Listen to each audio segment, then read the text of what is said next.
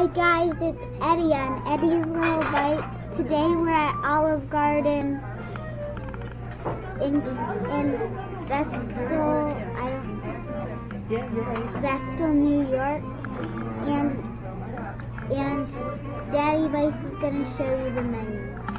That's right. So here's the menu. Ooh, we got a, quite a shadow there for Olive Garden. Do. And what are you going to be getting today, bud? I'm gonna be getting the cheese ravioli, Ooh, and what side are you going to get? grapes. And what are you going to get to drink? I'm gonna get the raspberry lemonade. Ooh, that sounds good. Uh, all right, so we'll be back when the meal comes. Yep. And there's activities on the menu. So many activities! This, there to find these things. And I think this is your name and tic-tac-toe and a maze All kinds of stuff in that book, huh? and big, huh? coloring. And the frog's asking you to draw something on the flag. And this thing.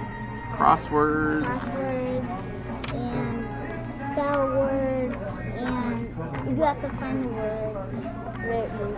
And to seek and find. And I already found all of them. Good for you. that with one hand and then just turn the wheel that way. And just keep this down, alright? It's right on the salad here. Let's put it here. Get it up on get it up in the air a little bit. Up, go the other way, that way, forward, towards daddy. That'll work. Other way. There you go. Yep, other way. Now tip it, tip it down. There you go. Look at that, go. bud. Good job. That's it. There we go. Yay, you got it. Nice. You got it. Okay, that's good. That's good. Yeah, we got That's a lot of cheese. Good. Even though it's not good cheese. So Italian. So that's Italian dressing. Mm-hmm. And what do you like about it? I like that it it has a lot of flavor to it, but I don't know what the flavor is. Oh, it's Italian dressing. Mm-hmm. Italian dressing flavor. Yeah. Here's your food. And what did you order again? I ordered cheese, cheese. Raviolis? Yep. Yeah. They look It's a great. flying saucer. I'm gonna do my final review. The food was super good, and the the cheese pierogies. I'm gonna call it the cheese pierogies because they look like pierogies.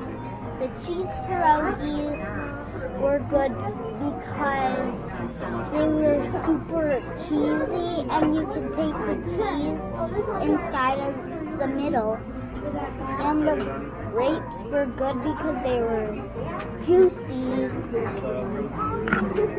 and, su- and super good.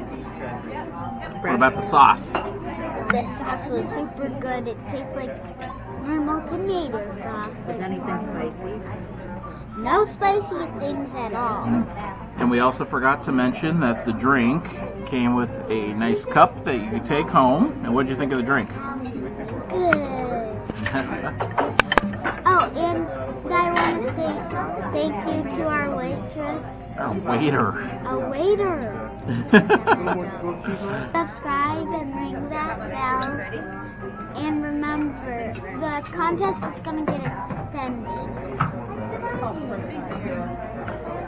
Comment where you want us to go next or, or to bake next. Bye.